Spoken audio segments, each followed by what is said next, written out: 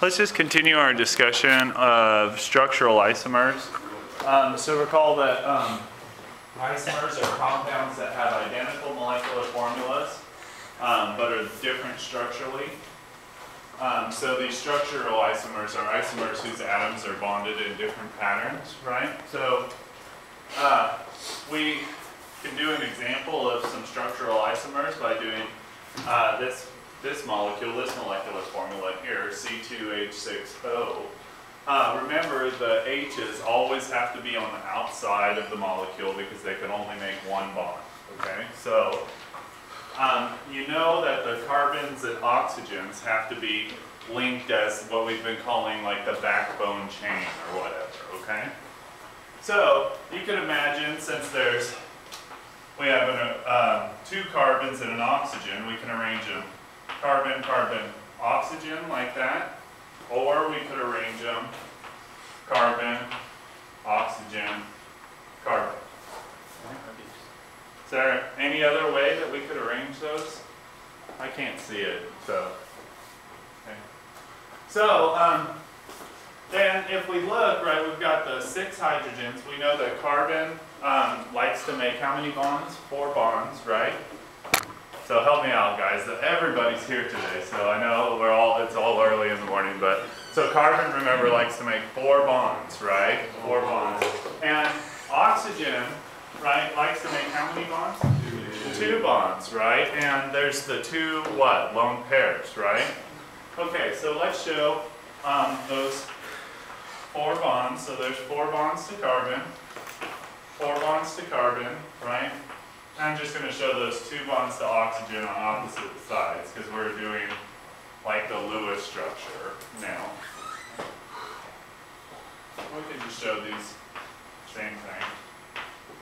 The oxygen already has its two bonds.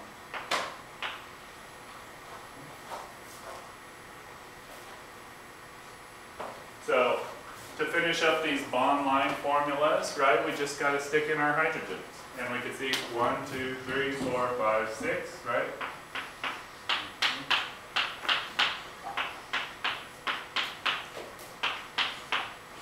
Like that. And one, two, three, four, five, six. Okay? So these are actually two different molecules here.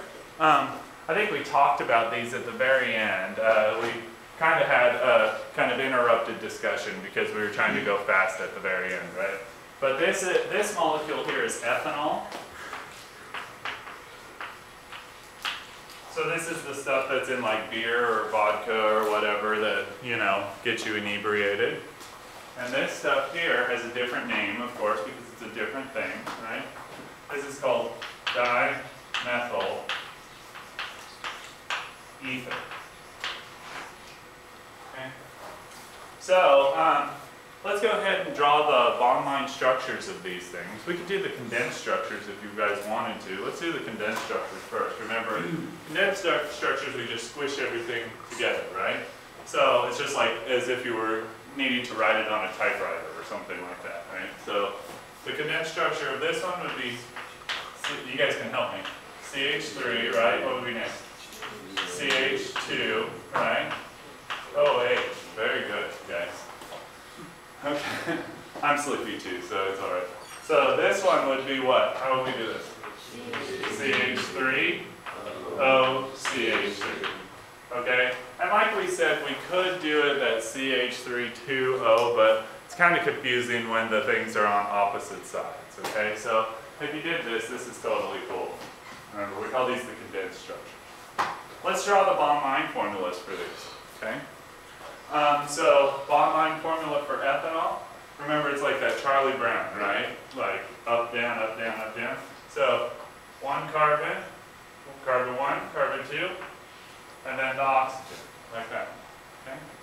And then put the H there. That's the bond line formula. You could, if you wanted to,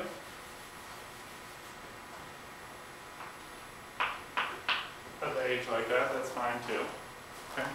Remember, so notice we're not showing our H's on the carbons, they're implied, right? So you know how many there should be because of how many bonds carbon has to it. But you have to put your H's on your hetero.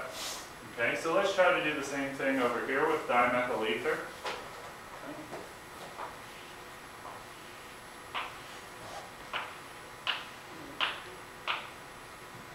So that's what dimethyl ether looks like. Okay.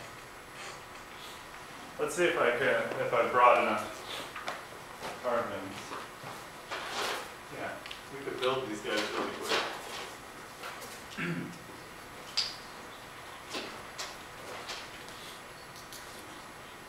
So there's ethanol. So you guys can see it hopefully, right?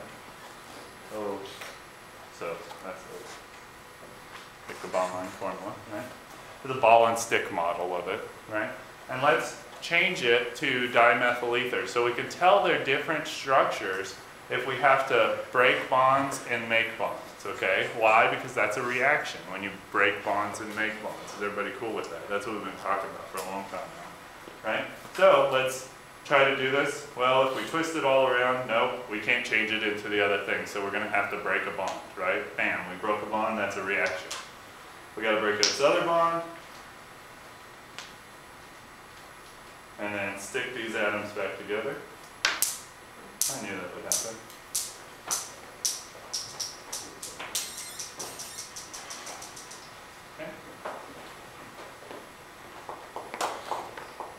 Just like magic, right? Go off the screen and now it's a different compound. So you can see that's much different than the other one, right? So if we wanted to show it like the bond line structure that we got up there, it's that, right? Okay, so that's dimethyl ether. Uh, this stuff will, well, this stuff is a gas at room temperature, okay? And this stuff, well, is essentially a liquid at room temperature, okay? Like if you got some Everclear or something like that, right? Um, this stuff, if you smell too much of it, it'll kill you, you know? So, I mean, uh, that stuff will, will too, you know, but not, not as quickly, you know? So this stuff's no good for you. So. But the other stuff, you know, I guess if you drink a glass of wine a day or something, it's good for your heart something. yeah. So are there any questions on this stuff? The other thing you can see, so yeah, so it says, there's some more things. Uh, ethanol is completely soluble in water, right? Uh, dimethyl ether is partially soluble in water. So these kind of uh, physical characteristics prove that they're two different compounds. They have different melting points, different boiling points, so on and so forth. Okay? Um, so are there any questions about this one? I think that's a pretty good video.